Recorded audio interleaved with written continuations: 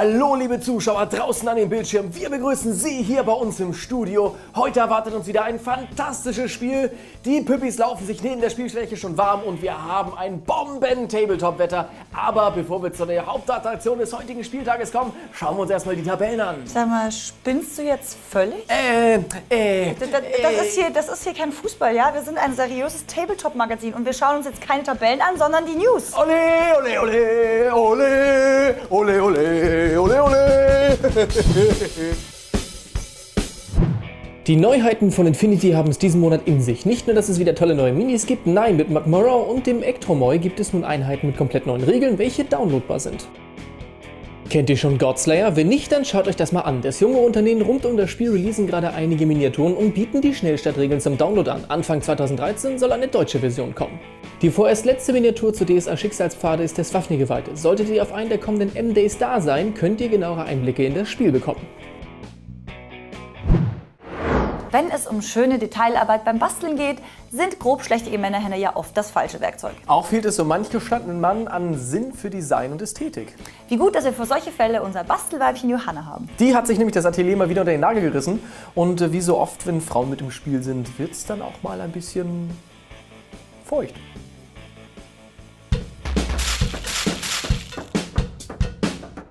Hallo und herzlich willkommen zum Atelier. Heute würde ich euch gerne verschiedene Methoden zeigen, wie man Wasser gestalten kann. Allerdings eher für äh, Bases und kleinere Flächen, nicht für große Spielgelände. Dazu brauchen wir Acrylfarbe, Klarlack, Spachtelmasse aus dem Baumarkt, Tempotaschentücher und Watte. Ich habe drei verschiedene Arten von Wasser vorbereitet. Einmal hier so eine türkisblaue Südsee, ein stürmisches Meer und einen dreckigen braunen Waldsee, wie er in Mitteleuropa zu finden ist. Als erstes zeige ich euch jetzt, wie ich die Wellen der stürmischen See geformt habe. Und zwar habe ich mir dazu recht zähe Spachtelmasse angerührt und trage diese jetzt auf das Base auf. Ja, da kann ruhig ordentlich was drauf, sodass ihr eine etwas dickere Schicht bekommt, die ihr dann auch gut in die Wellen formen könnt, die ihr haben wollt. Dann kann ich hier das Pinselende oder was auch immer so nehmen, um Wellen zu formen. Das ist nicht immer ganz einfach. Manchmal muss auch mehrfach Spachtelmasse gehoben werden. Probiert es einfach aus und äh, falls es zu dünnflüssig ist, ein klein wenig mehr Pulver dazu kippen. Somit äh, macht ihr die erste Schicht an Wellen. Wenn ihr noch höhere Wellen haben wollt, wartet, bis diese erste Schicht getrocknet ist und äh, setzt dann noch eine zweite drüber und äh, arbeitet euch so langsam hoch. Kommen wir zum Anmalen der stürmischen See. Dazu brauchen wir natürlich Schwarz und Weiß zum Abdunkeln oder Aufhellen, Blau, allerdings auch Braun und Grün, weil zumindest die Nordsee oder welche Meere auch immer sehen recht dunkel aus und das gibt einen ganz guten Effekt. Ich habe zuerst eine braune Schicht auf das Wasser aufgetragen, das ich vorher schwarz grundiert habe. Habe so ein Zwischending zwischen Anmalen und Trockenbürsten angewendet. Der Pinsel war noch nicht ganz trocken, aber ich gehe auch nicht flächig über alles drüber. Hier bei diesem Modell habe ich sogar noch ein Stück Treibholz in die Welle eingearbeitet. Wenn wir ähm, ein bisschen braun in die Wellen eingearbeitet haben, würde ich erstmal mit einem Blau fortfahren, das vielleicht ein bisschen mit Schwarz abdunkeln, damit der Kontrast zu der Grundierung noch nicht ganz so groß ist. Ja, es empfiehlt sich auch über das Braun rüber zu gehen, weil natürlich gibt es hier keine erdbraune See, aber so ein leichter Braunschimmer ist eben nicht schlecht. So arbeitet ihr euch eben immer weiter vor, werdet leicht heller, nehmt auch mal ein bisschen Weiß dazu und auch Grün eignet sich sehr gut für ein Meer. Setzt das dann sofort, ergänzt das Ganze farblich, bis ihr zu einem schönen Ergebnis kommt. Wenn ihr dann äh, die Grundfarbe des Meeres so herausgearbeitet habt, könnt ihr daran gehen, die Wellenkämme weiß tatsächlich trocken zu bürsten, so wie ihr das kennt. Hier in der Mitte haben wir dann das fertige Ergebnis. Da seht ihr teilweise ein bisschen braun hervorlugen, an Stellen immer wieder blau, aber nichts total flächig aufgetragen und eben das trocken gebürstete in weiß. Nun zeige ich euch, wie ich den Waldsee gestaltet habe. Und zwar wollte ich da gerne ein idyllisches Element hineinbringen, was äh, für mich so leichte Uferwellen darstellen. Dazu habe ich Watte genommen, die habe ich mir hier in solche groben Streifen gerissen und habe die dann zuerst mal ans Ufer gelegt, da wo diese Wellen ankommen würden. Habe hier so eine große und eine kleine. Dann habe ich die einfach hingelegt und mit Klarlack überstrichen. Ich habe hier übrigens ganz einfach einen Nagellack genommen. Ist relativ günstig und in solchen Mengen, wie man ihn noch tatsächlich braucht, den Klarlack äh, gieße ich jetzt einfach über diese Wattestücke drüber. Die Flasche ist schon etwas leerer, da kann man das nicht mehr so gut mit dem Pinsel verteilen. Und äh, da drückt er sich ganz von selbst an die Fläche, wo er hin soll, an, weil er sich vollsaugt. Wenn ich hier genug Lack habe, kann ich den Pinsel nehmen und das Ganze noch ein bisschen verstreichen, dahin bringen, wo es hin soll. Und dann ähm, mit dem Pinsel die Watte noch so ein klein bisschen ja, aufschichten, also zu so einem Wall formen, dass man eben sieht, dass da was liegt und dass sich so eine kleine Erhebung er ergibt. Um die Wellen noch etwas realistischer zu gestalten, brauchen Sie jetzt auch noch einen wirklichen Wellenkamm. Und den äh, stelle ich nicht auf so einer äh, lockeren Watte gemacht, sondern dazu drehe ich die Watte so ein bisschen in den Fingern, damit es hier so, eine dünne, so einen dünnen Faden gibt. Und dann nehme ich diesen äh, Wattefaden und klebe ihn einfach mit noch etwas mehr Klarlack dann auf diese breite Welle oben drauf. So sieht dann das fertige Ergebnis aus. Hier seht ihr diesen feinen Wellenkamm auf dieser langen Welle. Und diese beiden habe ich einfach äh, so belassen, da liegt kein weiterer Wattefaden drauf. Nachdem das getrocknet ist, habe ich ein äh, Taschentuch in seine Schichten, Schichten aufgedröselt. Werde hier nun so eine dünne Schicht in kleine Streifen zerreißen.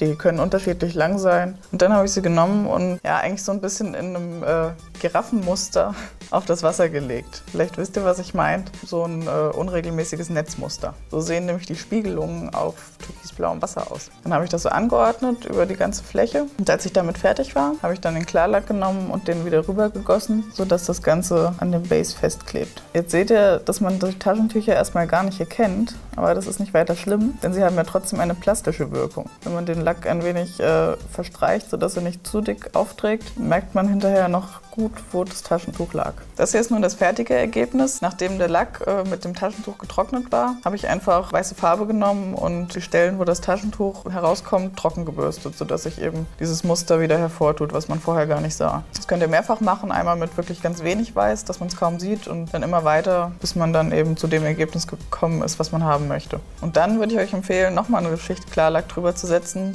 weil ansonsten ist eben der Glanz des Wassers verloren gegangen, nachdem man nochmal mit Weiß darüber gebürstet hat. So, ich hoffe, die eine oder andere Methode hat euch gefallen und vielleicht habt ihr ja sogar Minis im Schrank stehen, wo ihr das anwenden könnt. Viel Spaß dabei! Unter Tabletoppern kann es, man mag es kaum glauben, auch einmal zu Unstimmigkeiten kommen. Schrecklich aber wahr. Eingeschworene Kampfesbrüder gehen sich an die Gurgel, streiten sich und sind uneins. Was tun? In solchen Fällen hilft eine Instanz aufzusuchen, die sowohl weise als auch gerecht ist. Und falls das nicht hilft, gibt es ja immer noch Schlammcatchen. Yeeha! Frau Richterin, ich habe diese Figur bemalt, aber er will sie mir nicht überlassen. Aber Frau Richterin, ich habe sie zusammengebaut. Sie gehört mir. Die Rechtslage ist hier eindeutig. Ihr müsst teilen. Die Figur teilen? Das kann ich nicht machen. Nun, dann teile ich euch.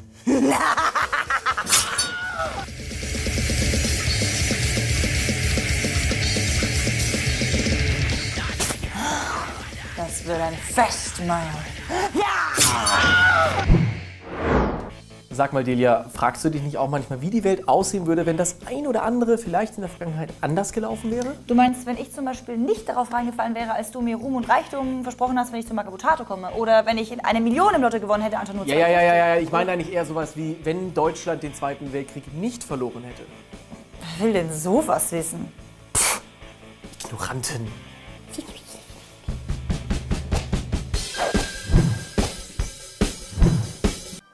Hallo, liebe Kinder. Seid ihr alle da? Ja! Heute geht es bei Brettat um ein interessantes Märchenthema. Alternative Geschichtsschreibung. Wir reden hier nicht von so etwas wie Mensch ärgere Malefiz nicht. Nein, wir reden von etwas viel Größerem, Gewaltigerem. Es ist 1947, Hitler ist zwar tot, aber Deutschland hat den Zweiten Weltkrieg nicht verloren. Die Sowjetunion und China haben sich zusammengeschlossen und die Alliierten mischen natürlich auch noch kräftig mit. Jeder gegen jeden also, so sieht die Situation bei Dust Tactics aus. Und wisst ihr, was das Beste ist, liebe Kinder? Es gibt jede Menge tolle Plastikfiguren. Dust Tactics ist vornehmlich ein taktisches Brettspiel für zwei Spieler. Es sind auch mehr Spieler möglich, aber es geben dann nur je Fraktion mehr Generäle die Befehle. Für die Aktivierung gibt es die altbewährten Optionen, wie bewegen, angreifen oder Fähigkeiten einsetzen. Man kann es sogar kombinieren, aber schauen wir uns doch erst einmal an, wie man sich richtig bewegt. Ich bin ein Mortel. Ich bin ein... Die Bewegungsregeln sind durch die Feldvorgabe denkbar einfach. Im Spiel enthalten sind neun Platten a 3x3 Felder, die man nach Szenarienvorgabe unterschiedlich zusammenlegt. Auf den Einheitenkarten ist die jeweilige Bewegungsweite der Truppen oder des Fahrzeuges zu finden. In der Grundbox heißt das für alle ein Punkt Bewegungsweite.